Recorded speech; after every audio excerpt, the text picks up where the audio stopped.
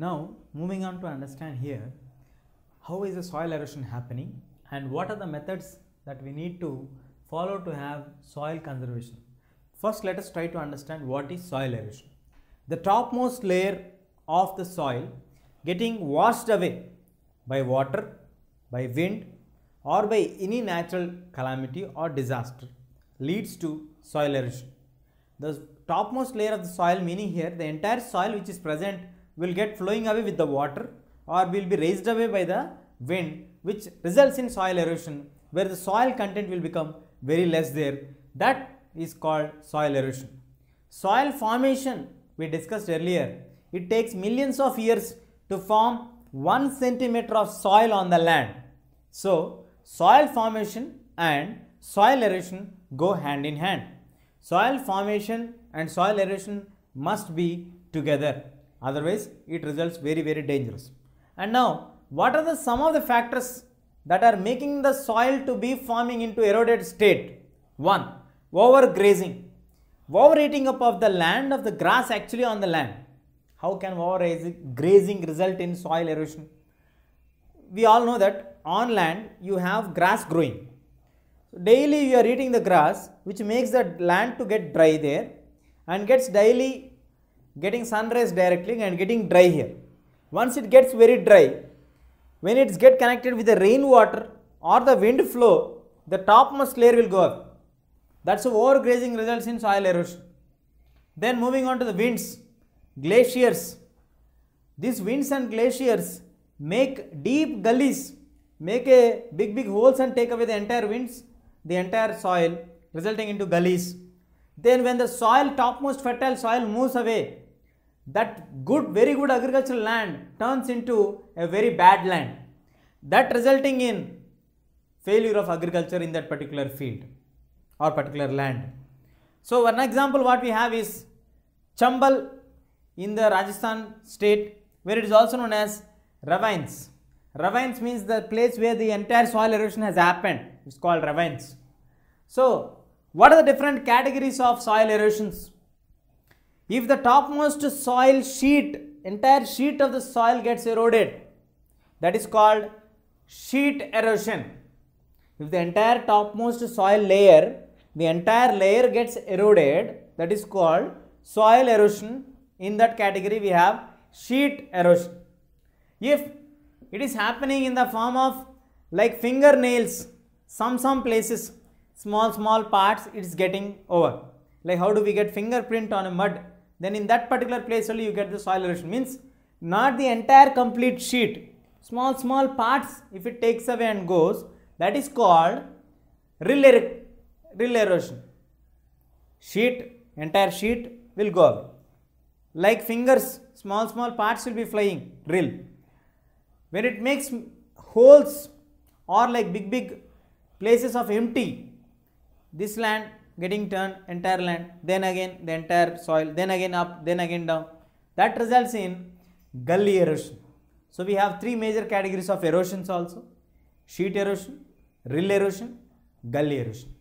And moving on to the what are the best methods to have soil conservation? How to save our soil from getting eroded? From getting eroded. First one, terrace cultivation. When you are having the terrace lands from where the water will flow and make the entire soil to go away, there you take the terrace cultivation.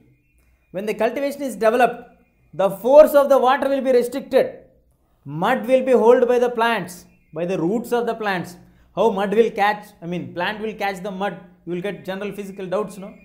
So, mud will be holded by the roots of the plants which will make the soil to remain there. The roots will act as the connectors between the mud and the down layers of the soil which makes the soil to hold very strongly there. So, the mud will not get evaporated there. I mean doesn't get flow away from there.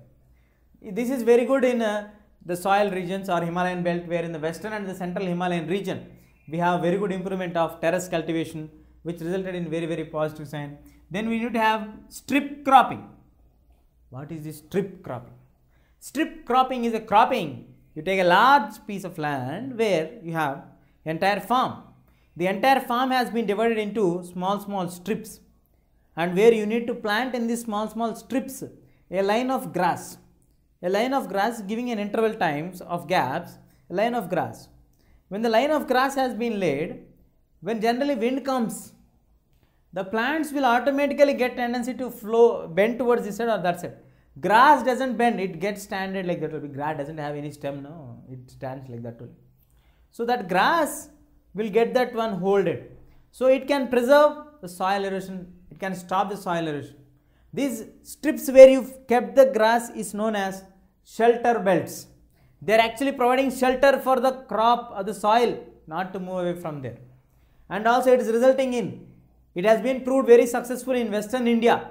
That is the stabilization of the sand dunes.